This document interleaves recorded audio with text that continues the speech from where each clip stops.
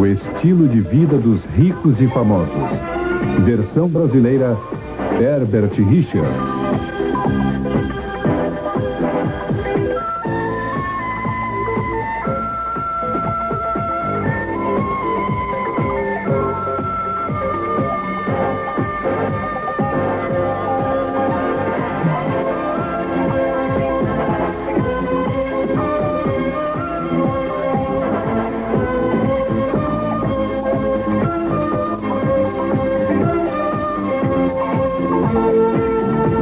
Eu sou o Robin Mitchell e vou levar vocês aos convidados especiais do estilo de vida dos ricos e famosos.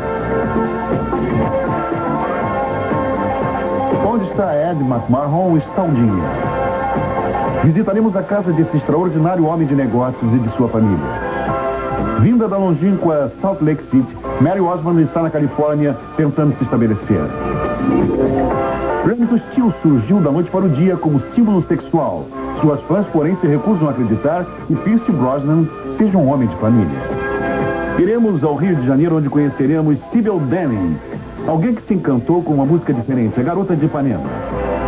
O produtor Alan Carr se sente bem tanto em Beverly Hills quanto em Manhattan.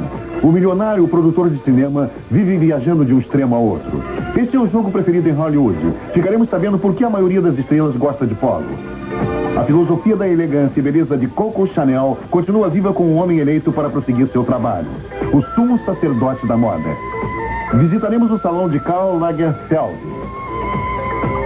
O que teriam em comum essa pequena casa, esse Rolls Royce, esse carrinho de golfe e essa menina com casaco de vison?